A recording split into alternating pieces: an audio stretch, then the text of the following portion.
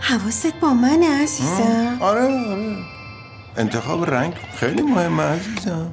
لیموی چطوره؟ لیمو. این چطوره؟ نه. نه. آها اینه خودشه. آی خیلی خوب شده عزیزم. انتخابت حرف نداره. آره ولی اینو خودت انتخاب کردی. با الوان انتخاب آسون میشه.